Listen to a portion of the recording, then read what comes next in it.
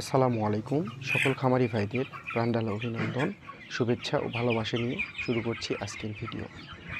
আজকের ভিডিওতে এমন কিছু গুরুত্বপূর্ণ বিষয় নিয়ে আলোচনা করব। আশা করি পূর্বে এই ধরনের ভিডিও কখনো দেখেন নাই।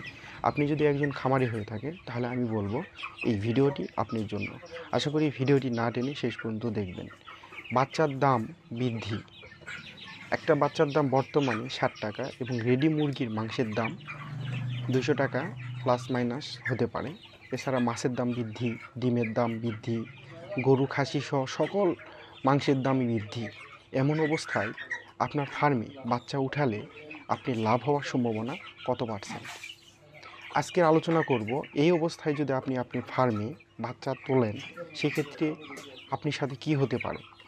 আশা করি আজকের ভিডিওটি শেষ পর্যন্ত দেখবেন এবং আপনি যদি একজন খামারি হয়ে থাকেন, তাহলে অবশ্যই আমার চ্যানেলটি সাবস্ক্রাইব করে থাকবেন। আর যারা অটোমেটিক আমার চ্যানেলটি সাবস্ক্রাইব করেছেন, তাদেরকে সো থ্যাংক ইউ এছাড়া সামনে রমজান, ঈদ এবং অনেক খামারই আছেন যারা লস খেয়ে তাদের খামার বন্ধ করে দিয়েছেন এবং বর্তমানে যে বাজার, এই বাজার দেখার পরে নতুন করে বাচ্চা ওঠার যদি তারা শুরু করে থাকে, সেক্ষেত্রে কি হতে পারে? ভবিষ্যতের বাজার? তো আসুন, আজকে আপনাদের সামনে ছোট্ট একটা হিসাব তুলে ধরি। এবং আপনি আপনি নিজের হিসাবটা আপনি নিজেই করবেন।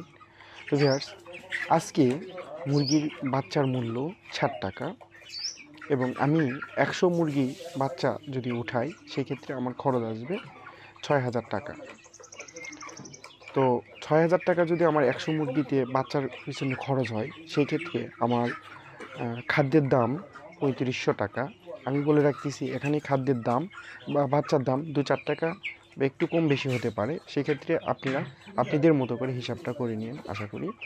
তো পঁয়ত্রিশশো টাকা যদি প্রতি বস্তা খাদ্যের দাম হয়ে থাকে, তাহলে প্রতি একশো মুরগিকে ছয় বস্তা খাবার খাওয়ালে একুশ হাজার ছয়শো টাকা খাদ্যের দাম আসবে। একুশ হাজার ছয়, একুশ হাজার টাকা খাবারের দাম, প্লাস ছয় হাজার টাকা বাচ্চার দাম। মেডিসিন খরচ, যেহেতু গরমের সময় আসতেছে, মেডিসিন খরচ খুব একটা আসে নাই। তারপরেও একশো মুরগির জন্য পনেরোশো টাকা ধরলাম। এবং বিদ্যুৎ, পানি এবং লিটার এসব কিছু মিলে দুই হাজার টাকা ধরলাম।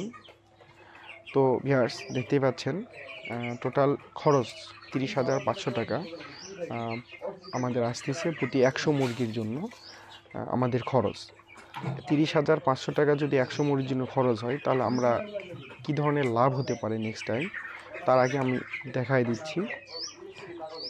তিরিশ হাজার পাঁচশো টাকা একশো মুরগির দাম। একশো মুরগি লালন পালন করার পরে একশো মুরগির মধ্যে অটোমেটিক চার থেকে পাঁচটা বা কারও কম বেশি মারা যায়। আমি এখানে পাঁচটা মুরগি মৃত্যু ধরলাম। সেই ক্ষেত্রে ভাগ পঁচানব্বই। পঁচানব্বইটা মুরগি যদি আমাদের থাকে, তাহলে প্রতি মুরগিতে আমাদের খরচ আসতেছে তিনশো একুশ টাকা। আমার আমাদের যদি তিনশো একুশ টাকা প্রতি মুরগিতে খরচ হয়, তাহলে আমাদের ওজন কীরকম আসতে পারে? এখানে প্রতি মুরগিকে ছয় বস্তা খাবার ধরলে অটোমেটিক দুই কেজি দুইশো গ্রাম আসে স্বাভাবিকভাবে আপনি যদি নর্মালভাবে লালন পালন করে থাকেন, তারপরেও দুই কেজি ওজন আসবে। আর কীভাবে ওজন আনবেন, কীভাবে মুরগির লালন পালন করলে ভালো রেজাল্ট পাওয়া যাবে, এই সকল ভিডিও আমার চ্যানেলে দেওয়া আছে। আশা করি আমার চ্যানেলটি ভিজিট করলে আপনাদের যদি মুরগি লালন পালনের ক্ষেত্রে কোনো সমস্যা থেকে থাকে, তাহলে অবশ্যই ভালো রেজাল্ট পেয়ে থাকবেন। তো ভিয়ার্স এখানে তিনশো একুশ টাকা প্রতি মুরগিতে খরচ হচ্ছে আমাদের। তাহলে আমাদের মুরগির ওজন যদি দুই পয়েন্ট এক মানে দুই কেজি একশো গ্রাম ওজন আসে, তাহলে আমাদের মুরগিতে প্রতি কেজি মাংস উৎপাদন করতে খরচ হচ্ছে একশো তিপ্পান্ন টাকার মতো প্রায়।